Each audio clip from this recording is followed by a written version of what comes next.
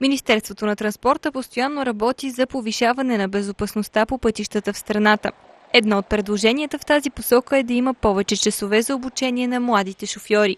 Това се отнася за практическата част, тъй като от Министерството са установили, че курсистите не придобиват всички необходими умения за безопасно шофиране.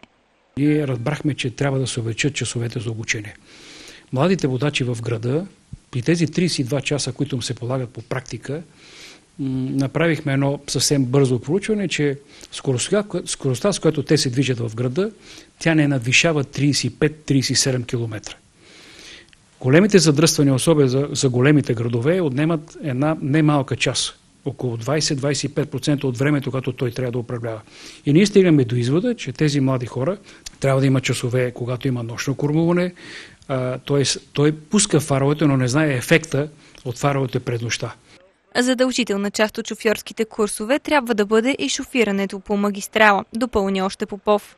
Освен това, един човек, който не се обучава на магистрала и попада в едно движение в скорост от 100-120 км, разбирате ли какъв е стреса на този млад човек? И той е способен от, от това, че не умее, от страх, от емоция, той да извърши много по-лесно грешка, която не дай Боже да е фатална, отколкото един човек, който е преминал такова обучение върху магистрала. Ангел Попов бе категоричен, че промените, за които настоява Министерството на транспорта, допълват важна част от практическото обучение на шофьорите, която до сега е била пропускана.